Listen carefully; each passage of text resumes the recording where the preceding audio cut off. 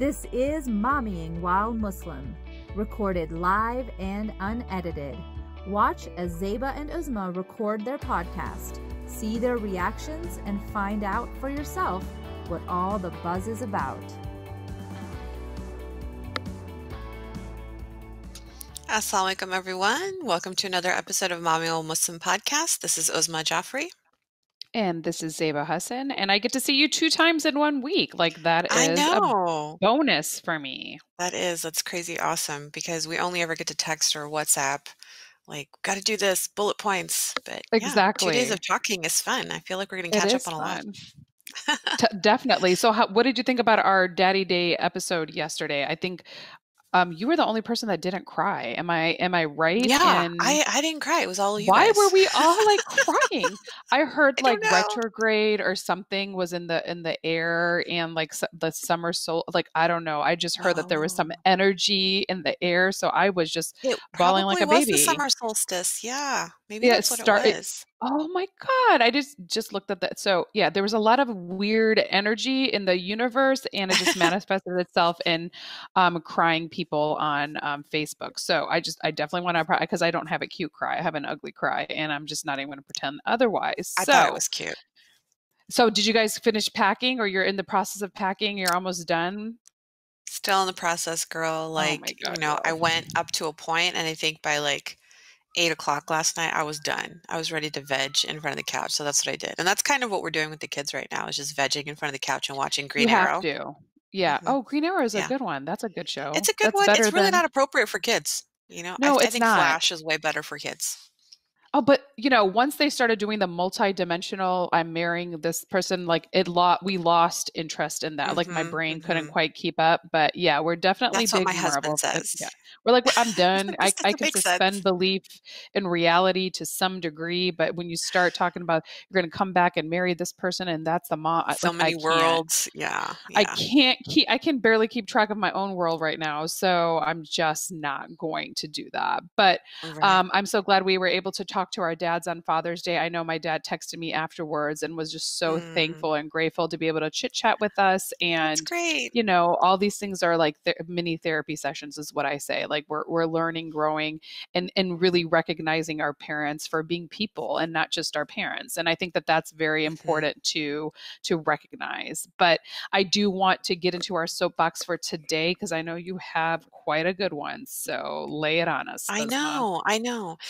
I just couldn't um, streamline this. So I wanted everybody, including myself, to pay attention to blackmail, quote unquote, suicides by hanging.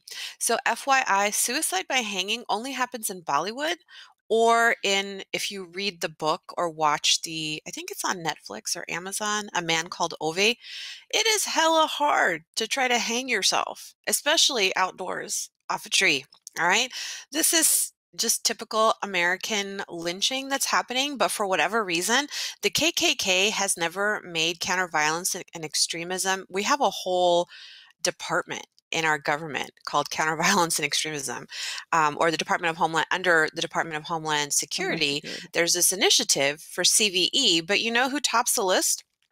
It's not the white dudes. It's not the KKK who's been doing this for hundreds of years. You know who is on their uh, list? Muslim people and like black people, and that's been forever and a half. But they've never killed hundreds and hundreds of people like the KKK has. So what is it going to take? My question is, um, is that because there's only one type of terrorist that we want to stop in this country? And my second question is, what's it called again when you have different rules for different types of people? So answer those two and riddle me that. The second thing I uh, want us to realize is that, you know, I know there's a lot of balls in the air and a lot is happening. And so some of the things we don't, unless we really take the time to read it uh, and understand it and maybe talk to a few people, it's not going to make sense. So I kept hearing like, the president has fired a U.S. attorney. The president has fired a U.S. attorney. Why is this such a big deal? Well, um, he did, and it was U.S. Attorney Geoffrey Berman. He's out of the Southern District of New York. And it's so convoluted, so complex. You need really dark, strong coffee and a whiteboard to figure out what the heck happened.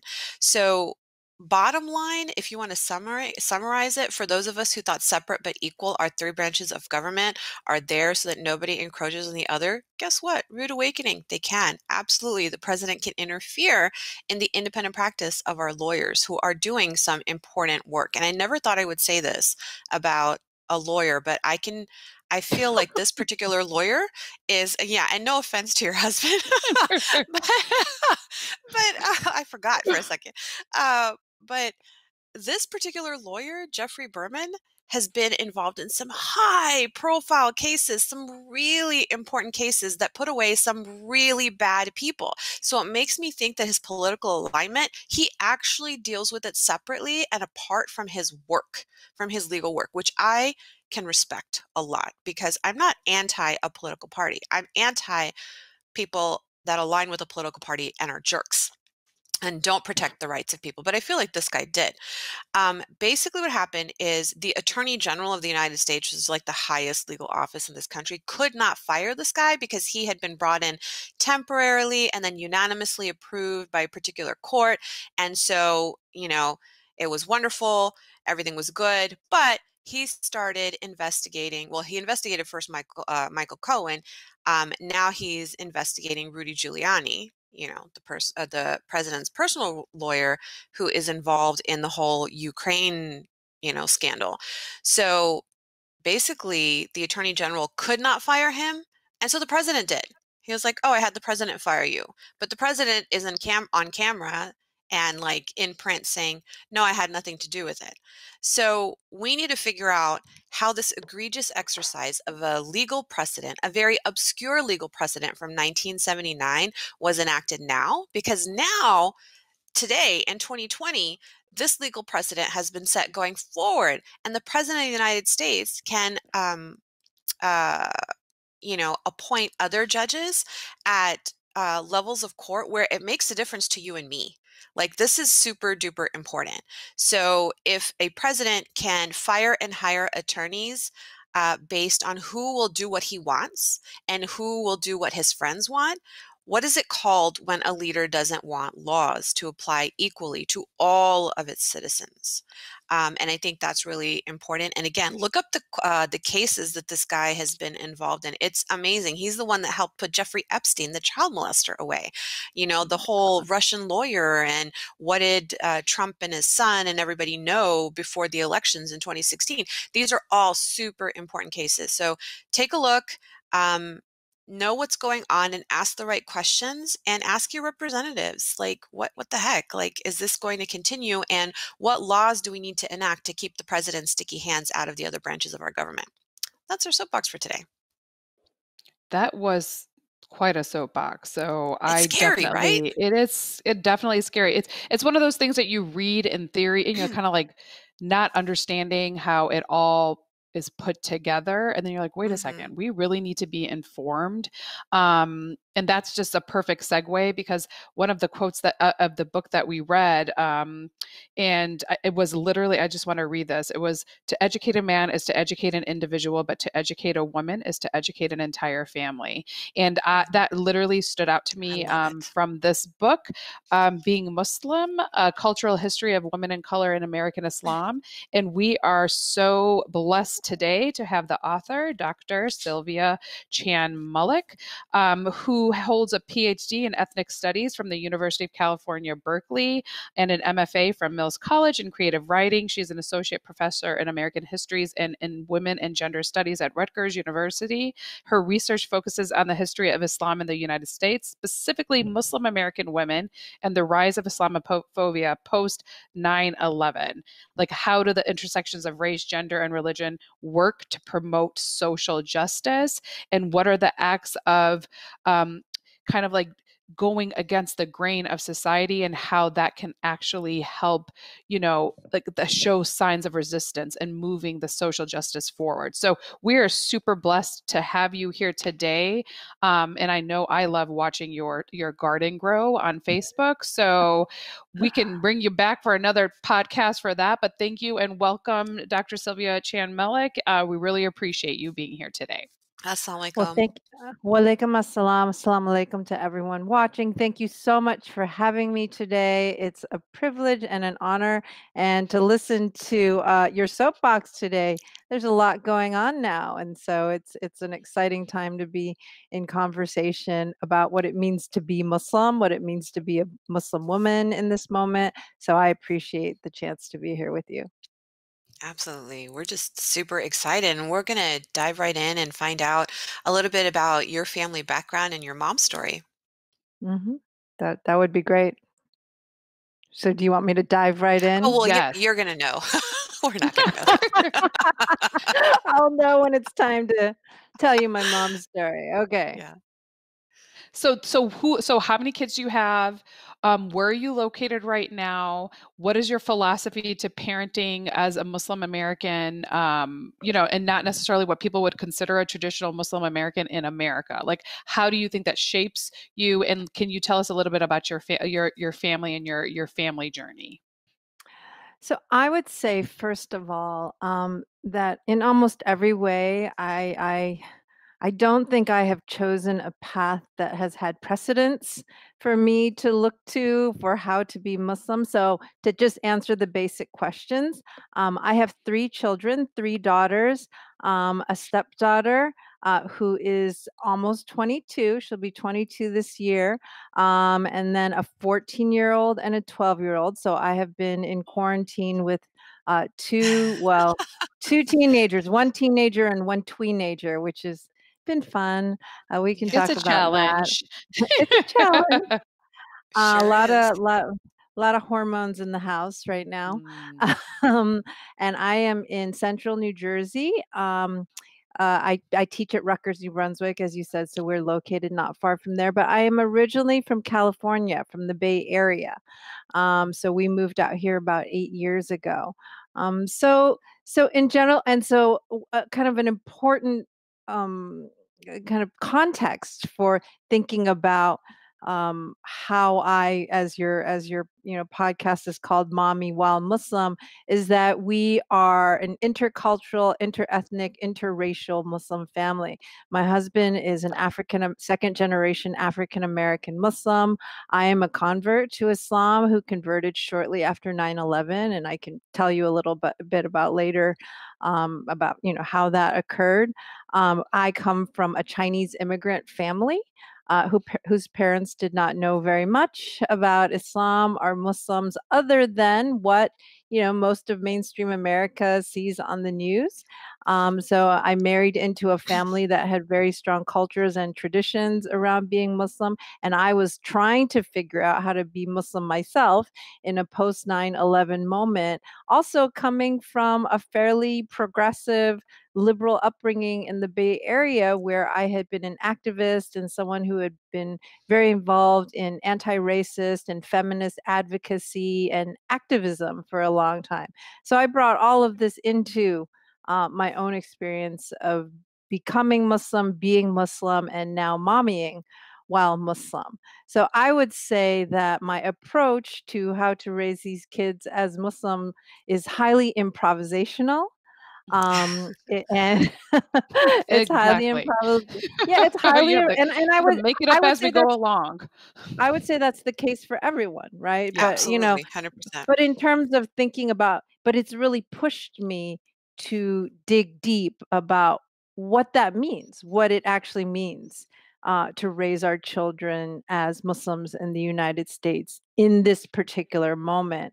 And so you know it kind of all ties together um, my research um, my life my children etc i kind of all think about it in a very holistic frame um, of how to you know as as seamlessly and as gracefully as we can meld the um, you know cultural emotional psychological spiritual and physical aspects um, of this beautiful vast religion called islam into our daily lives See, that's what I was wondering when I was reading this book. And granted, you know, Zeba and I both discussed, we were like, this is very much a textbook. Um, and so, again, you know, whiteboard and strong coffee kind of you know reading and understanding and you know just i had to every few pages put it down because mind blow mind blow like i could actually hear explosions of neurons like going oh my gosh i actually grew. Um we know they don't regenerate but still. Um I, I was wondering what prompted your partic- this particular topic for you. So your summary right now just really makes so much more sense to me. I get it. So thank you for that explanation. But I know a lot of people, when they read the title of this podcast, when um, if they pick up your book or peruse your book a little bit, what they may be wondering, and um, I think they're probably wondering too, is feminism and Islam are they compatible? And I mm-hmm. think you kind of allude to that in the book, but you know, I mean, as a professor in um, uh, several departments, uh, including uh, women and gender studies, I was wondering if you could maybe talk about that a little bit because this may be news to you. It was certainly news to Zeba and I, but the majority of our listeners are actually non-Muslim women. Wow, that mm-hmm. that that is Surprise. amazing.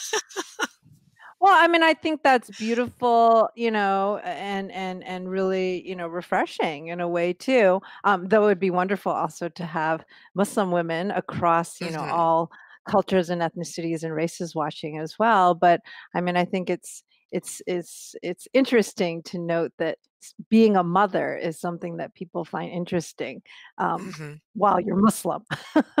Yeah. so yeah. But in response to your question, I mean, so uh, people ask me a lot. I mean, so I'll, I, I mean, I, I, I like to acknowledge the obvious. You know, I will do talks about the book. I've written a book called Being Muslim. I am a specialist on the history of Islam and Muslims in the United States. I teach courses on it. I speak on it. Um, and so when people see me, right? In the body I'm in, as I often teach my students, we move around the world with the bodies that we're in, with the knowledges that we have from, you know, the family and the communities that we're raised in. People don't exactly make that connection like that, oh, she's Muslim and she's writing about Muslims and how is she, you know, it doesn't quite add up, right? And so, you know, kind of knowing this and being very aware of it was something that um, kind of influenced my thought process around these terms that you mentioned Islam, feminism, gender, and race from the very beginning. So I am a scholar of race and ethnicity. My um, PhD is in ethnic studies. Like I said, I'd long been an activist and advocate around issues of anti racism in the Bay Area where I'm from. And so I came to Islam when I started studying it in the post 9 11, 9/11 moment because I wanted to see what was going on. There was hate crimes, there was violence being directed at the Muslim community. And I was very interested in kind of working with the community, trying to advocate and do that work. And I quickly realized that a lot of the knowledge that I had around issues of race and gender that I had learned in my studies um, and my work were very applicable to this community. But when engaging with the community, there was almost like a little bit of defensiveness or resistance to talking about these topics at times, right? And and what I realize is that we get caught up on words a lot.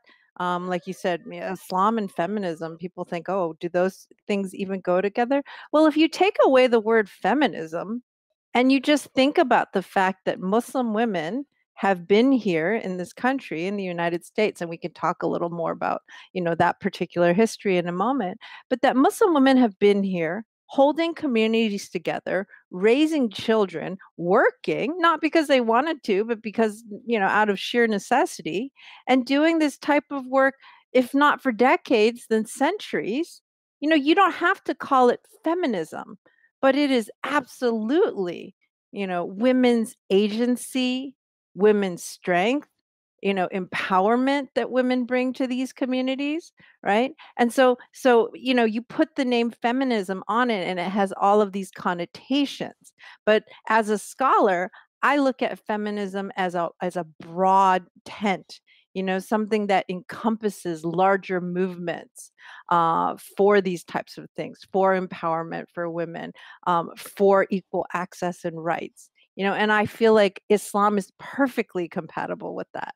I don't see anything in my own engagement with the quran and hadith um, and the histories and traditions of islam that contradict that in any way. So you know in my own approach this is how i've kind of gone about the thinking. I, I think we get caught up on semantics and words a lot about uh, what is what and what is what. But if we really look at it in a broad holistic sense of how people have lived and how they have gone about their daily lives as Muslims, I think it's absolutely compatible. And I think there's absolutely this spirit of what I call gender justice within the history of Muslim women in the United States. I love that's, that answer. I feel like it's yeah. so supremely complete, you know? And you took a lot of pains in your book to define terms and say, this is how I'm going to proceed to discuss this and call this. So it eliminates a lot of that confusion. And we can come back to the term feminism versus womanism later, but I think Zeba has a question for you. Yeah, sure. th- you you touched upon this a little bit, and we actually um, were fortunate enough to have a guest last week on our sh- our podcast. Um, sadly, I was recovering from an endoscopy, so I didn't get to speak with her myself. But I definitely watched in my post uh, my post haze um, post um, endoscopy, and anesthesia. Um, she, her anesthesia. I was like, "What's going on? I need to listen to this." But her name was Ikhlas Saleem, and she was part of Identity Politics um, podcast, mm-hmm. right, Uzma? And yes. she was specifically like again another mind blowing situation. Who who literally said, you know, you all in, in fairness, are, are products of an immigrant culture of a Muslim immigrants that came here, you know, in the 60s and 70s. But she's like, you know, we've been Amer- um, Muslim Americans have been here for centuries, and you really did touch upon that in your book. Um, and I don't think a lot of people are aware of that. Like they've been a part of the the the moral the, the structure of building of this country, and we kind of through that concept of black erasure erased some of their the impact of that. So mm-hmm. you talk a lot about like the uh, the nation of Islam specifically, which again, when you talk about words having meaning, that kind of gives a you know Louis Farrakhan um, negative connotation to a lot of people that don't understand what the the organization is about. So my question to you is one, you you mentioned them a lot in your book, and I and I'd like to um, and they were an integral part of history for sure. But what do you feel their role played in shaping um, the structure of modern day American Muslim society? Mm-hmm. Well, thank thank you so much. I mean, that's a really wonderful question. And Ikhlas, uh, Ikhlas from Identity Politics, it's an amazing uh, podcast, and they really kind of emphasize these issues um, and conversations and debates, you know, um, around race in Muslim communities, and really highlighting that African American Muslim experience, which I think is so integral. So, you know, here's my segue: so integral to actually understanding what it means to say you are Muslim in American society. So, a dear friend of mine, um, Dr. Donna Auston, um, and I wrote an article uh, together. Um, I think it was published last year, and we were thinking about what it means to be uh, an Afri- a Black Muslim. Like, what is a Black Muslim ethical imperative? And one thing that she says, and that I cite rather often, is that Islam first entered this country as a large scale presence, right? Through the bodies of enslaved Africans. So, mm-hmm. anywhere, scholars estimate that anywhere between one third to one fifth, so it's very hard, you know, to have an exact number um, for enslaved peoples coming into this country, but anywhere from one third to one fifth of enslaved Africans who were forcibly brought to the United to, to the to the Americas were from West Africa, from uh, Muslim, predominantly Muslim countries. So it is, you know, pretty uh, uh, you know, uh, fair to say that anywhere from one fifth to one third of enslaved peoples here were Muslim, right? So, so whether or not we as a nation, you know, kind of recognize those enslaved peoples as Muslims, their presence in this country was the way in which Islam became an American religion, right? Because enslaved peoples came, they still tried to practice their records. There are uh, uh mm-hmm. rituals, religious rituals. There are documentation. There's documentation of this. You know, um, enslaved peoples who you know were literate and wrote out prayers in Arabic. You know, um, and people who were trying to fast and do their daily prayers um, and facing a certain way when they prayed and preparing food and you know, you know, the list goes on and on. So, whether or not we recognize this presence or not, and as a cultural historian, someone who studies, you know, the history of culture, these presences live on in our national consciousness. And so, with that presence, with Islam being so deeply intertwined with the history of Black people um, and that culture and legacy, right? Donna, uh, Dr. Donna Auston says that can never be intertwined. That is still with us to this day, right? And in the American imaginary, within kind of how America thinks about Islam, if you, you know, I'm sure this has all occurred to you. Like, why is there this extreme kind of you know kind of triggered reaction that so many americans have you know at the mere mention of Islam and Muslims. And one of the particular things about its presence in a US context is that Islam is an inexorably um, uh, kind of non white, non Christian religion.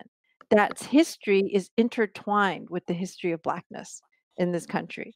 Right. So I just want to make that point that whether or not we acknowledge it or not, that presence exists right? So that's that's integral to understanding what it means to be muslim in the united states. It's intertwined with blackness yeah. and the history of black people and black culture and communities. So the nation of islam is something that's become a sort of boogeyman of sorts right? To, to kind of thinking oh those are the bad muslims and they're you know and there have been very problematic things that you know louis farrakhan has said.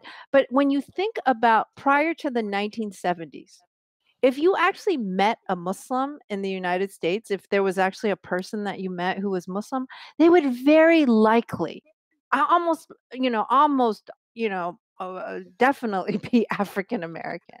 And many African American Muslims did not come through the Nation of Islam. As, as I talk about in my book, there were other mm-hmm. um, movements the Moorish Science Temple, the Ahmadiyya movement, Darul Islam. Um, there were Orthodox Sunni uh, Muslims, Black Muslims as well, right? But the Nation of Islam was the one that was catapulted into the mm-hmm. national spotlight.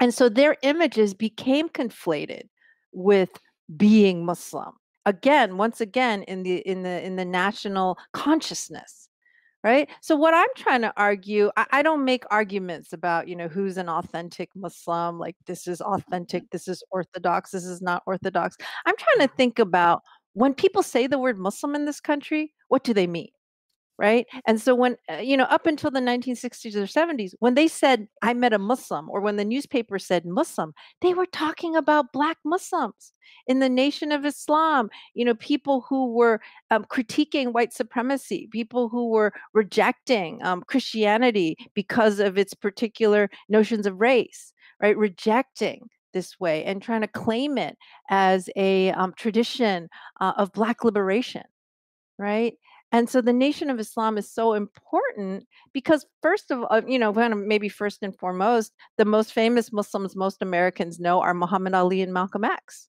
Mm-hmm. And they mm-hmm. both come out of that tradition, you know, they both are connected with that organization in some way.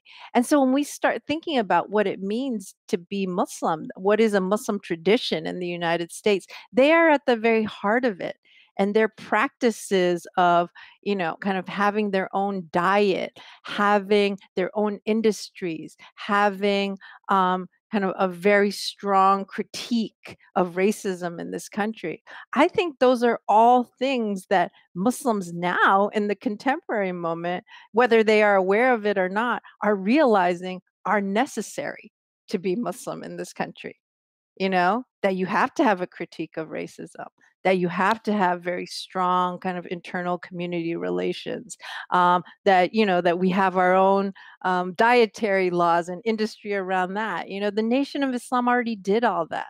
So they're just mm-hmm. so critical um, in understanding how the you know those that came before us had already constructed a way of being Muslim in this country that I think we can learn so much from you know again without you know all the conversations you know are they real muslims well you know what? They were they were the muslims in this mm-hmm. country. And and and you know we can look at what they did and their practices and find a lot to draw from and learn from as muslims in the 21st century. Right. And you know whether or not you know, again, labels and what we call ourselves may matter, but that's a whole different discussion outside of what you're talking about, which is pure history. And you know who was here and who was represented represented and i found myself um, mind blown at um, i forget the name of the documentary that you cited uh, the hate that hate creates Oh, the hate. Uh, um, oh gosh, I can't believe I'm I'm blanking. I'm having a moment. it was a Uh, documentary in hate. the that- Oh, 60s the hate that hate produced. The hate that the hate hate that hate produced so it was a 1958.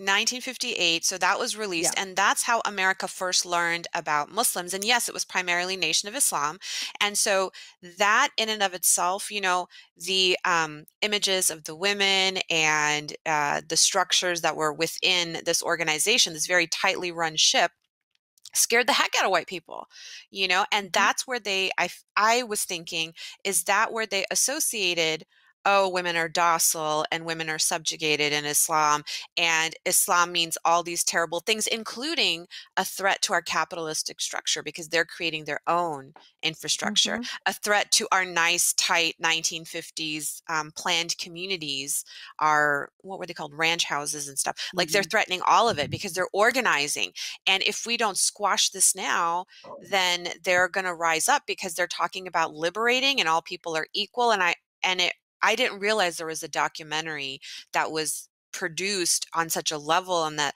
Life magazine and People magazine had done these spreads on the Muslims that were there at the time, which was Nation of Islam, and it scared the hell out of everybody. And that's where I realized when I, because I wore my hijab too after 9 11. No, I was already wearing it at 9 11. Um, I think the year prior I wasn't. And then um, immediately people were like, Oh, did you get married? Did your husband make you do that?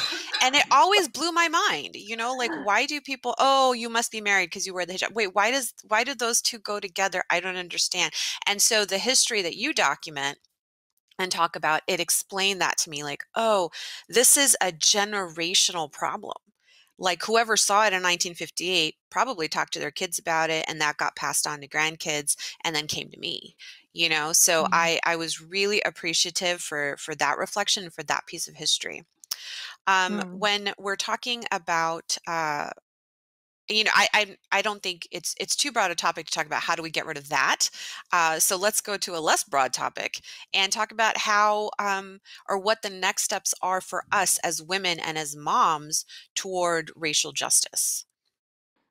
I Hmm. know it's a Well, total that- like that- tongue-in-cheek i know it's it's just a, as big a topic if not bigger. Well you know I, I actually I, I think about this a lot and i actually i wrote another essay um, it's collected in this anthology called with stones in our hands edited by um, uh, professor sohail Daulatzai and Junaid rana.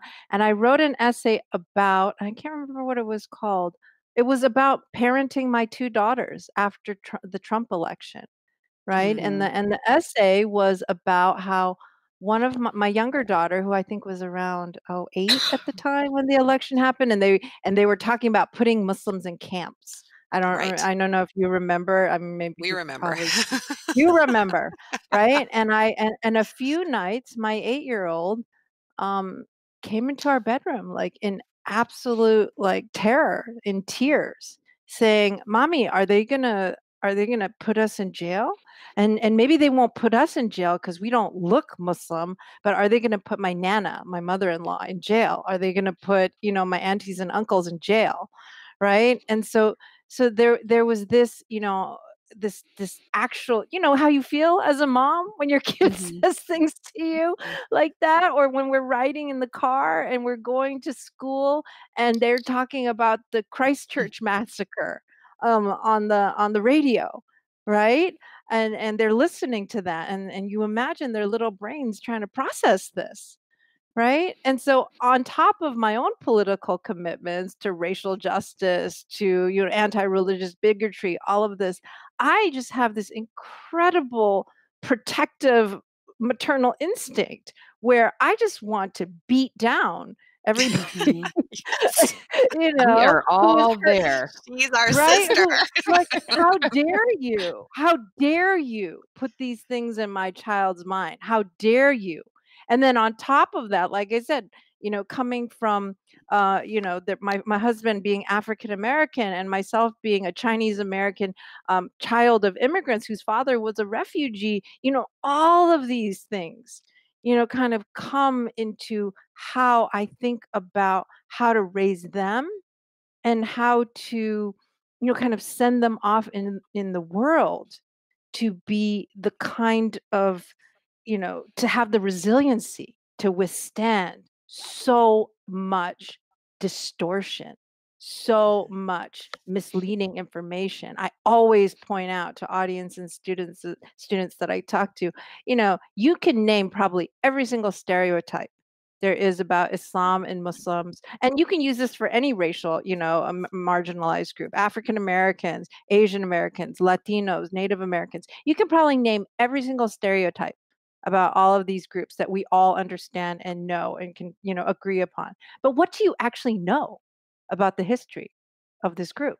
what do you mm-hmm. actually know about who they are and the complexities of their communities and you know the ways in which we are all just striving to live our lives in the best way possible for our families for our communities you know for the future we don't know anything and so to answer your question the thing i usually say is and this is why i do the work i do why i teach the classes why i wrote this book I, think for me, being someone being someone who is a writer and a teacher and a scholar and who just, you know, I feel like it's so important to understand where we come from, what is informing our ideas, what is informing the the landscape you know the cultural landscape the political landscape the social landscape of everything around us so that we can say hey you know? To to be a muslim woman in this country in this moment requires you to have a strong commitment you know to um, anti-racist practice a strong commitment to social justice. It requires this of you because ultimately it is what will keep you well kind of grounded in who you are and give you a sense of purpose in that identity right? And and the reason why i called the book being muslim is because it's a practice. It's something we have to do every day. It's not yes. just something we can just say. It's not an identity that we just oh i'm muslim. Well what does that mean you right. know what does that mean? Okay oh, and what does it mean beyond you know like a you know we we pray we fast um you know we do our rituals with our communities and things like that but what does that mean in our life? And so you know I, I think the response that i always have is that you are part of creating this narrative. You we are in a moment where we are rejecting the mainstream narratives that are built on white supremacy and violence and the marginalization of so many people. We are in a moment where we're seeing statues toppling, where we see people saying, you know, no more. This is not who this country is. It, people of color have always been here muslims have always been here you know african americans native peoples built this country in so many ways and are not acknowledged we need new narratives and we need to find those and we need to tell those and share those and i think those give people strength you know those give people resilience and fortitude to move through the very difficult work of creating the world we actually want to live in right for our kids together right yeah. um you know how muslims can can connect to other groups right we have to imagine it before we can make it and then live in it right yeah. And you can't imagine it if you don't and i always tell my kids like i wrote this book for you guys. Yes. i wrote this book for you because because what i found so challenging all the time was like i don't have any mentors. Who can mm-hmm. i ask you know how to do a lot of things? How how to raise my kids? How to be in my marriage? Like i don't know how to do this.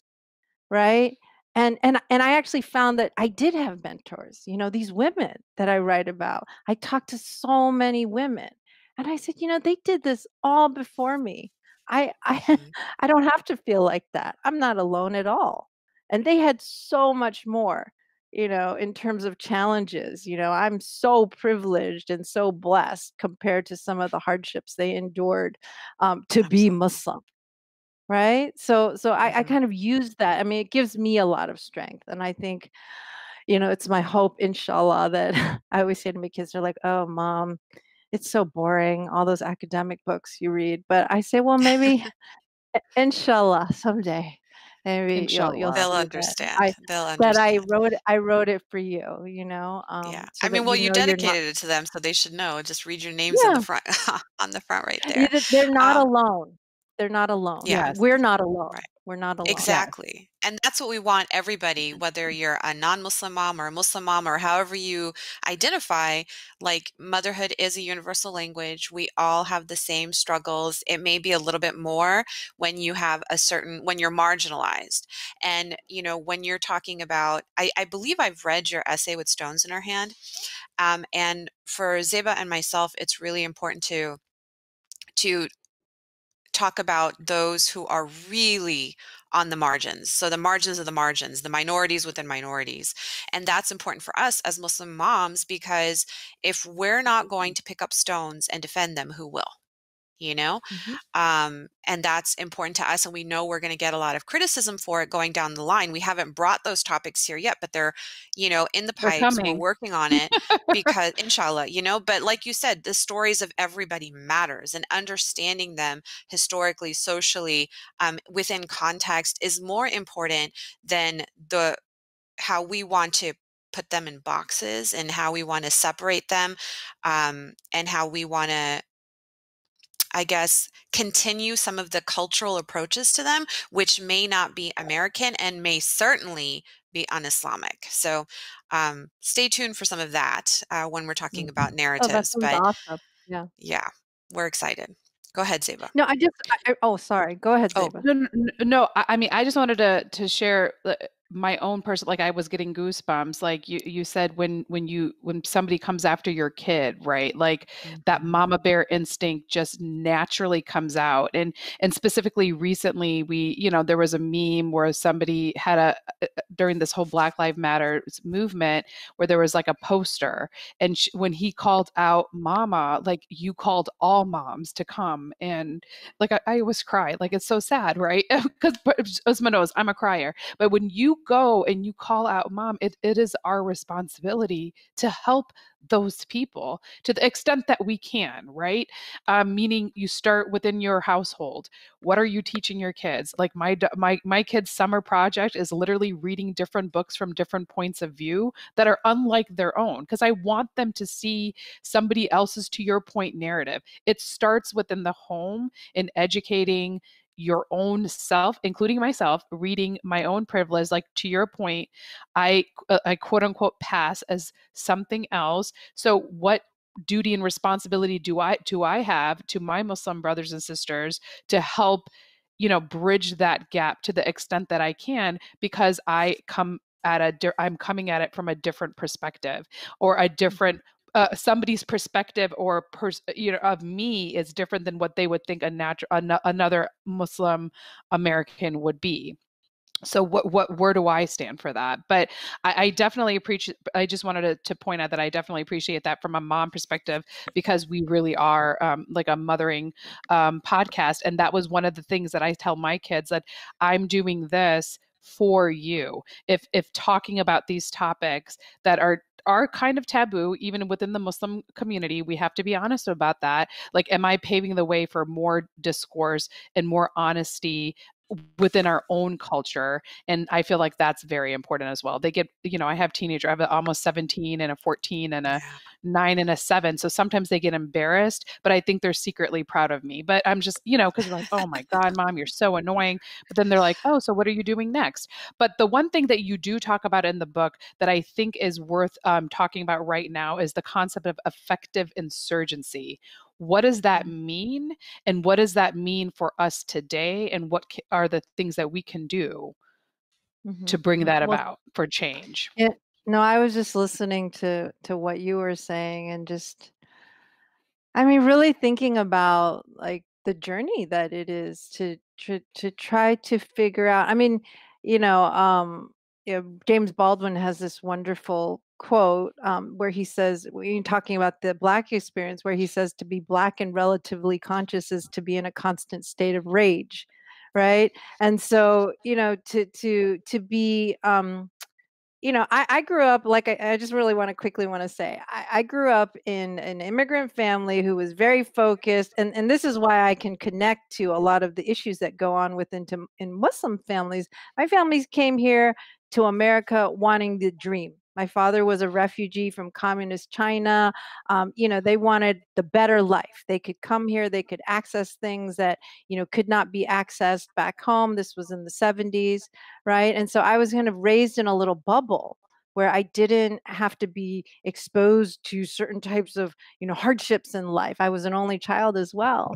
And so when I got to Berkeley when I was 18, I went to UC Berkeley for my undergrad, you know, it was like the veil got lifted like i i was i realized you know all of these types of things that my parents had endured and things but then i saw kind of the larger scope of injustices and this does go back to the affective insurgency question um, you know in terms of um, I, I, looked at the world around me, the struggles of other students of color, African American and Indigenous students in particular, and I realized without their contributions, without the contributions of Black freedom fighters, of the civil rights movement, there would be no Immigration Act. There would mm-hmm. be no way uh, for my parents to have even come to this country or have my parents got their jobs through affirmative action right? Which is a mm-hmm. direct result of civil rights legislation. They got jobs at the phone company, you know, a great, you know, kind of steady jobs. They wouldn't be able to have those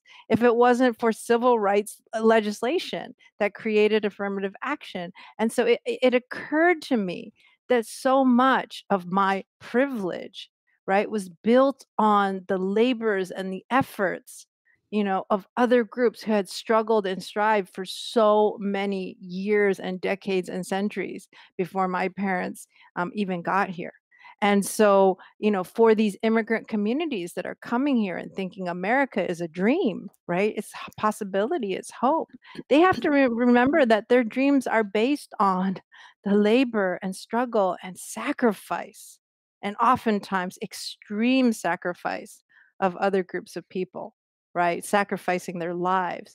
And so when I was talking about affective insurgency, what I meant was this connection between the ways in which Muslim women in particular are thinking about being Muslim at a certain moment in time and how being Muslim and being a Muslim woman is always something you have to navigate against kind of whatever the cultural landscape of the country is at a particular moment. So I think about 1920s um, urban Chicago, right? African American women who converted to Islam were very much dealing with this new industrial moment where slavery was not that far in the past, where segregation and extreme inequality and a, and a country in which nobody even knew what Islam was, where Islam was a rejection of white supremacy um, and racism within Christianity, they had to create their identities against that right? Against that landscape against those understandings of race and gender and culture.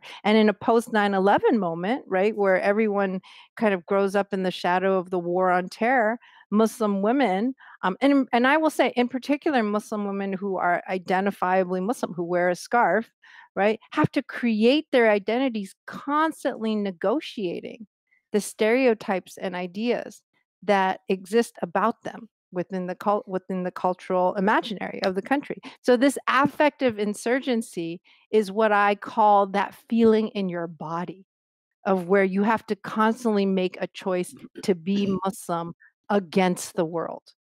Right? Yes. Like you have to mm-hmm. be a Muslim woman against the fact that here's this president on television saying Islam hates us or that we're going to ban Muslims. You have to be a young person of color and a Muslim against a world that devalues your life, against a world that thinks you wearing a scarf means that you're oppressed by your husband. Like you have to walk into a job interview or a classroom knowing that everybody already thinks these things about you.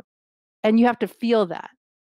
And mm-hmm. I'm and I argue that that feeling you know, has been the hallmark of what it means to be a Muslim woman, you know, and a Muslim, you know, woman of color primarily. You know, what what does that feel like to constantly create your identity against all this distortion that exists about who you are?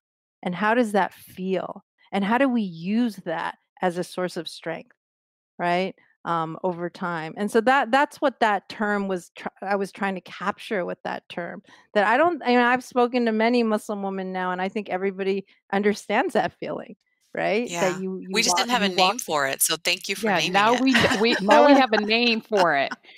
well it's my academic just term it was you know resentment I well know yeah she's like, but I'm you just know like mad and everywhere angry. you or you go into a room and people are saying things oh those muslims or whatever and it's like Mhm. i mean what do you do you know Well, I had this happen just even last week, I, and this this is why I think it's so funny. If like l- uh, the the doctor um, who was doing my endoscopy, and I'm not going to name the practice, but of course he's he's like, oh, Zeba Hassan, like, so like, where are you from? Like Iraq, Iran, and I'm like Chicago. Like I'm not from any of these blown. places. And literally, he's like, no, no, no, but no, really, where are you Oh, from? that. And I just kind of literally looked at him like as he's about to give me anesthesia and i'm like i'm from chicago like if you're trying to ask me what my ethnicity is or whatever i'm happy to share that but are you asking a mary smith where she's from you see what it's it's these little microaggressions that we as um, people of color whether you can pass or not pass that we have to deal with so and you know it builds up sometimes you get annoyed and i can find i found myself getting a little angry and having to do some yoga breathing because why do i have to constantly prove myself to you? Why do you Mhm. just assume I'm not from here because my last name is Hassan? And then you're you're saying I'm from like are you from Baghdad? Literally said that to me, and I'm like, of all the places in the world, that's where you would assume I'm from. But that having been said, I, I the one thing I did want to ask you very specifically because I know we're like we can probably talk to you for hours and hours and hours and hours because you just bring up so many good points. But you you mentioned at the beginning of this that you're a mom of three daughters in a very beautifully multicultural Muslim family. And how are you? What are you doing differently than your parents did for you in raising your children as African, Asian, American, Muslim, female specifically in America today with, you know, all the things that are going on as we speak. Literally as I can't even watch the news. As we speak, how are you raising them differently than perhaps you were raised um, because of their particular um, station or particular place in life identifiers in life Well, I will give very specific answers because there are certain things that my husband and I decided you know, very early on with our children. As someone who was the kid of immigrants, um, my husband was raised in a very strict Muslim household, um, but but as the mother, you know, I was raised in this immigrant household where I was raised by the TV. My parents were at work, and I yeah realized as I got older, and, and I'm sure you know you can probably relate to these experiences that you know you absorb so many of the messages about you know who's pretty who's cool who's smart hmm everything um, from those images and whether you belong and it's it's a very rude awakening when you realize wait a second i'm never the main character you know? Yes. I'm the joke i'm the joke or i'm the person you know that they laugh at when you you know when you leave the room or you know like you're like you're the side second the side buddy right? Like that's always the case. Like i'm the sidekick. Why can't i be the the, the or per- first person? Like why is that or the I'm the butt of or, or you're the butt of the the joke or you know whatever right? So so I realized that and so one of the things we decided uh, very early on is that we did not have a television in our house for a le- very mm. long time now I'm not you know I'm not perfect so they had little iPads and they you know had little devices and we would watch videos and things but that was something we very conscientiously did that we did not want to have kind of my parents had the news on all the time. I was always watching some the TV was always on, right? So that was something we were very conscientious about that we didn't want that in our house. And and it was actually funny and and let me know if we're running, you know, short on time or anything. But and and we really tried to fill their lives with and what we felt like not falsely, you know, you know, happy, you know, happy, happy Muslims, happy people of color kind of messages, but we really tried to fill their lives with positive, you know, representations of, you know, um, Islam and Muslims and and people of color and our own cultures. And it was funny because I actually had to correct my children at one point because they were, you know, they had only heard good things about Islam and Muslims for so long. I think they were like, you know, eight or nine or, you know, but before Trump. And they were like, well, you know, all Muslims are good, right? You know, and so we had to have this kind of hard conversation where it's like, well, you know, there's bad people everywhere. Right. you know, there's good Muslims and bad Muslims too. But I was, you know, I'm happy that they they have a they they I we tried very hard to create an environment where they were not exposed to the constant din, the overwhelming din of the negativity around who they were. Right. So that was one thing um, you know, that we that we very conscientiously did. Um, let me think. Uh, uh, oh, another thing. I mean, in my particular case, I'm very adamant as a as a scholar of history that my my children are black. I mean, I just you know like they are uh, they are mixed race and they are proud of you know all sides of their heritage. But again, like when I was talking about affective insurgency, I was trying to say that you have to kind of understand the larger context in which you live. And in this country, historically, whether you you know the drop of blood right you know we have the three fifths compromise you know when you are mixed race um, and and and and part uh, african american part black you are seen in the eyes of society as black and so yes. i you know we've made a very conscientious decision to raise them as black women in the way that they understand what that means like that what that entails that people see you as black women um i you know i have people i have friends who have you know black sons right? And that like again like that has that entails a particular um type of you know thoughtfulness around how do you parent these kids right? So that was also a very conscious decision um, that we had around the children you know raising them. And finally because we come from this really disparate kind of understanding of islam my husband and I, you know, we come from different traditions. I come from a much more sort of progressive, feminist, expansive kind of understanding from Islam. He comes from a more traditional, conservative Muslim family. I mean, he has kind of figured out his own way. But we did decide collectively that we wanted to raise them with an Islam that was as expansive and as diverse as Muslims themselves are that there are 1.7 billion Muslims or 1.8 billion, you know, the number keeps changing worldwide, right? And it is not our job. I mean, I, you know, we try to teach them particular traditions and things, but that all of them are practicing Islam in the con you know in the context of their lives and we have so much to learn from all of that so i always want them to see that they they have so much to connect to it's not a small kind of marginalized you know tight place to be muslim. It is huge and vast and beautiful and every single place that they go they can find different manifestations and expressions of it that they can you know engage and learn about and be a part of right? And sometimes they'll be hard and sometimes it'll challenge them um, but that's all part of what it is. So we you know we made an agreement that you know it's all islam um, and we want them to be able to find that seek it out and figure it out in their own improvisation like who they are. Because i don't even know you know they right. have their own they're mixed race chinese african american muslim girls living in trump's america. They got to figure out their own thing. I don't know. Yeah yeah. And I mean, our Islam, the way we practice it, is so different than the way our parents did it. Mhm. Um, and Exactly. I, I just think each generation maybe brings it closer to the actual Islam. We hope that was practiced authen- authentically by uh, Muhammad and his companion. So we can only hope, peace be upon him.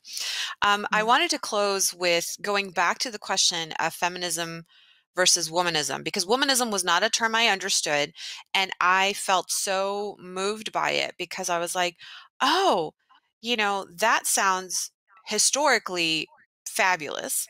But Mhm. also, I think ideologically, that aligns more with what I believe as a Muslim woman. So, can you talk about, you know, because we have cousins over the ocean who also are mommying while Muslim. That's not their name, but their um, understanding of feminism is within the context of uh, liberalism.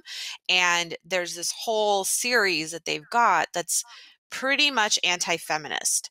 And as someone who has always been a feminist and ascribes to feminism myself, not in the liberal context, but per my understanding, um, I I was not able to connect there, but I was able to connect with your discussion. So if you could just describe that or explain that a little bit for our moms listening um, who are scared to this day of the word feminism and don't want their mm. daughters raised as feminists, don't want their Feminist. sons raised as feminists. I think this is really important um, for us to teach our children and to realize what the difference is mm. historically and etymolog- etymologically. Mm-hmm. It's such an important point. So, so I'll say um, first thing I want to say is there's a wonderful there's a wonderful book called I, I think it's called Gender in Islam by Leila Ahmed. It's a classic book. I, I'm, you're, I'm sure you're familiar with it.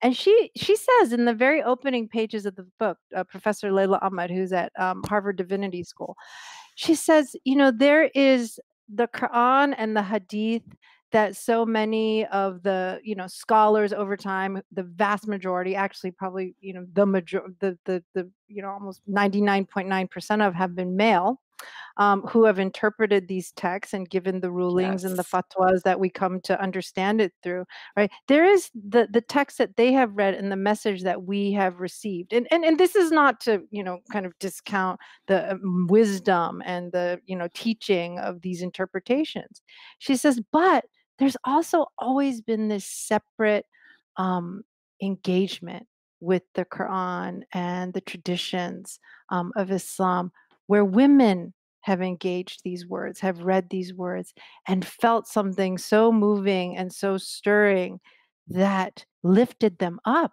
as women right that gave them you know uh, fullness and agency and power and strength.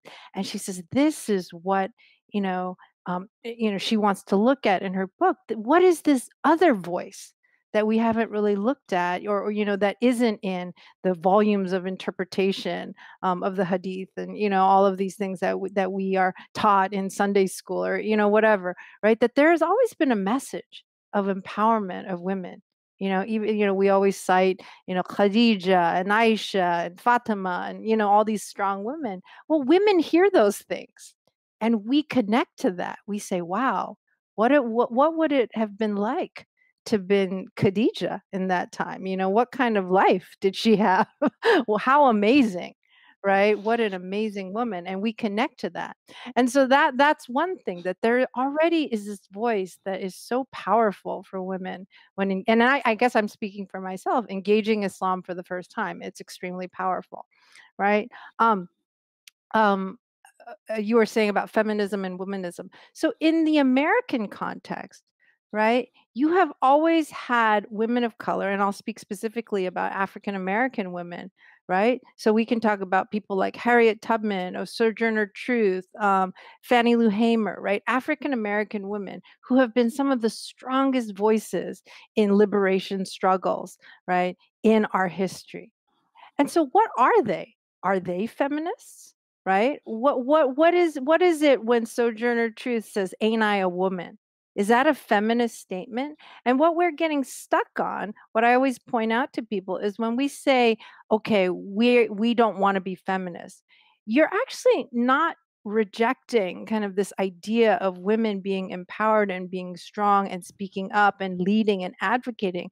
You're reject, rejecting a very particular manifestation of white, middle class to upper class, second wave, you know, which is called second wave feminism, feminist discourse that emerged in the 1950s, 60s, and 70s that came out, right, as this kind of rejection of the cultural gender norms within white American society at that time right so so when we mm-hmm. talk about feminism we're talking about oh uh, women uh, trying to go to work and have the same men as the same jobs as men um, sexual autonomy kind of not wanting to raise your own kids like this was a particular set of kind of political desires that a group of white, you know, like I said, the, they come out. I talk about this in my book. Um, the feminine mystique, Betty Friedan, mm-hmm. people like mm-hmm. that in the 1950s and said it was a particular. And I hate to say this word because I don't like it when people say the feminist agenda, but but the, it was a particular type of set of political imperatives yes. that feminists of that time um, put forth as kind of the basis for their activism and organizing. At the same time that that was emerging, you had African American women who were saying, wait a second, all you you know white middle class women who are saying you want to go to work and make your own money and do all this stuff um, we have already been working We've been your mm-hmm. caretakers, mm-hmm. your nannies, your housekeepers. We've been working in factories. We've been making money for our families. We would find it incredibly freeing to stay home and take care yes. of our children. Mm-hmm. Right? That would be freedom to us if we could mm. actually. And so, you know, the women of the Nation of Islam said that. And so, my kind of issue is so, so that would be kind of called more of a womanist tradition. We're kind of looking at the full experiences of women across racial and ethnic subjectivities and class subjectivities, right? And saying, saying, wait, shouldn't we also include that when we talk about a feminist history? Right? When we're talking about, if you're using that word, if it also kind of is about um, talking about women's empowerment and women's history, if we're using that word, that should be a part of that history too right mm-hmm. so my kind of insistence on using that word is not to say i want to embrace you know these second wave white middle to upper class tenants of what they called feminism but i'm saying since that word has become common parlance and like a term that we all know and use we just need to make it again more expansive to say wait it includes these efforts of these women of color. It includes the history of Muslim women. Um, Islamic feminism, right, has been a term that people have started to use, saying Muslim women can draw on um, Islamic religious texts to advocate for their own empowerment and agency, right? And, and I just mm-hmm. think we get caught up. We get caught up on the words um, and that's that's you know that's a hard one. I know a lot of women that i work with who say i just don't even w- use the word feminism anymore. I just say gender justice or something oh, like that because it, like and that's what i actually use in my book. I say gender yeah. justice right? How could you mm-hmm. not say these women were advocating for gender justice at all time or justice for women at all times?